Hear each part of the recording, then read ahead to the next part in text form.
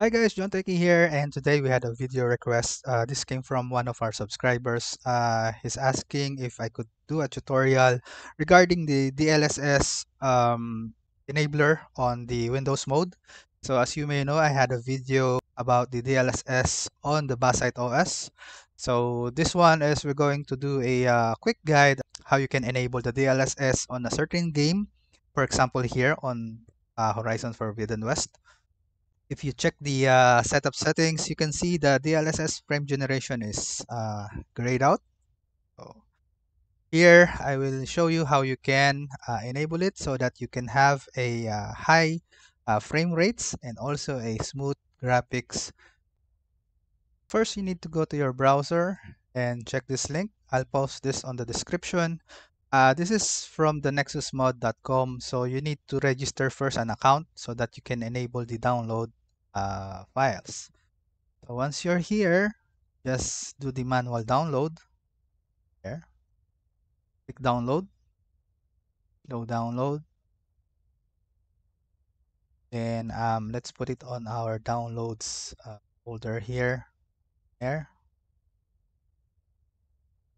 So while downloading, uh, you may want to create a folder. So you very quick here on my game files. Uh, let's put it on games here. Create a new folder. Let's just name it uh, DLSS uh, enabler. There. Okay, once it's done, just click here. Then click on more info, then run anyway. Accept, the next, next. So here in the browser, make sure you uh, choose the folder that you created before. So mine is on games, DLSS enabler. So here, make sure you choose the enable support for AMD since we're using the Legion Go. Then click next and install.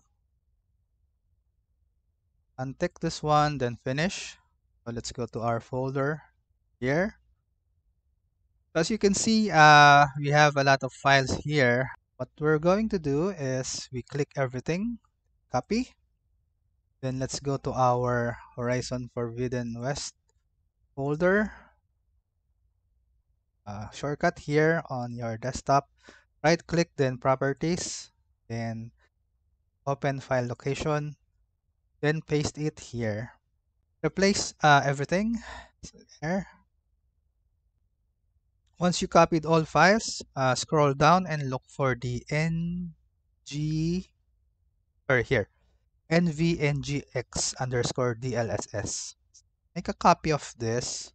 And what I do is I put it on my desktop. Here. Here. So what we're going to do is we're going to rename this one. And we will search for the underscore nvngx here.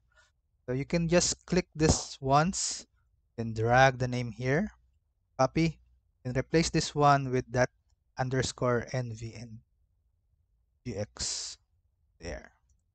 So you rename it, you can copy this one, then you can paste it here. Sure you replace it, and yes.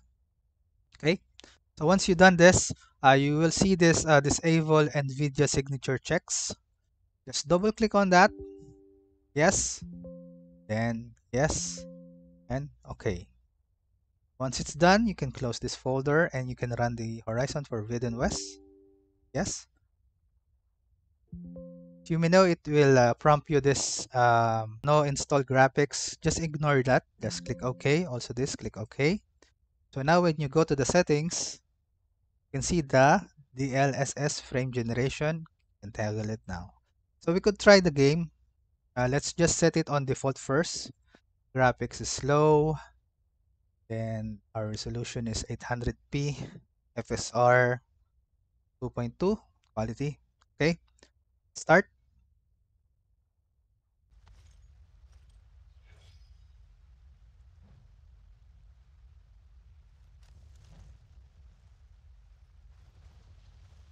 okay as you can see here we're having a 3840 uh, fps there Sometimes it drops down to 20s.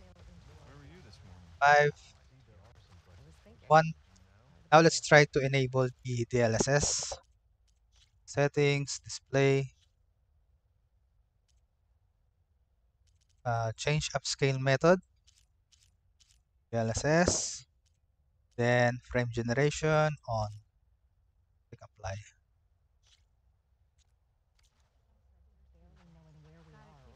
As you can see, we have a great boost of FPS now.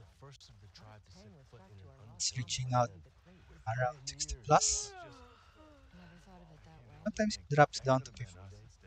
So this town is really uh, really uh, laggy. But if you look closely here on my uh, Legion Go screen, see how smooth movements are. Someone's in a hurry.